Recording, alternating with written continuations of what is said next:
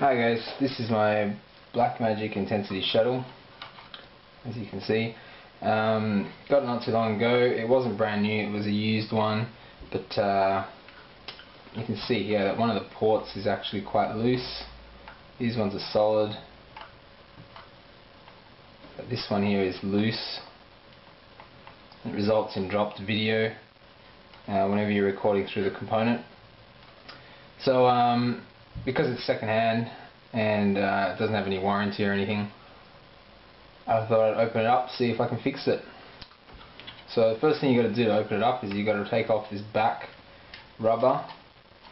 Uh, I've taken it off before so it comes off easy now but um, you know just take that off and you'll see underneath that there's uh, five screws. Now these screws need a Torx 10 screwdriver to remove.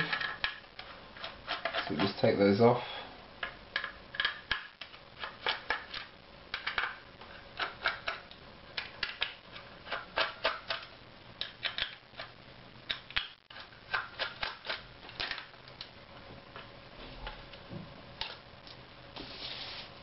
Okay, so once you remove those, this top part should come off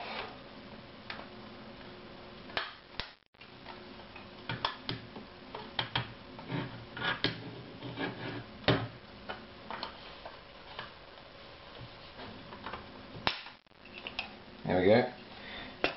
Now, it actually takes a while to get this thing off because usually there's clips.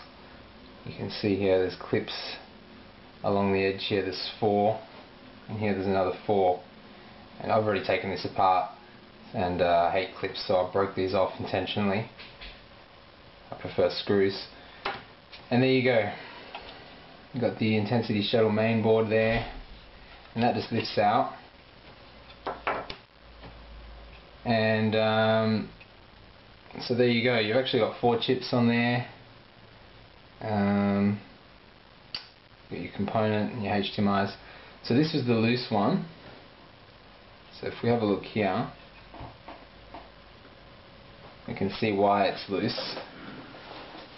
Shoddy workmanship from Blackmagic. I'll just zoom in on that. So that's the first one, second one, and there's the loose one. You can see there the reason why it's loose is because it has no solder on it. All the other ones seem to be okay. So that's the first chip we have.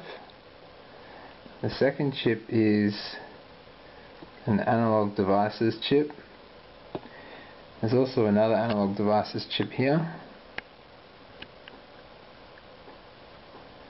And finally we've got this chip which seems to be perhaps a RAM chip of some kind, I'm not sure.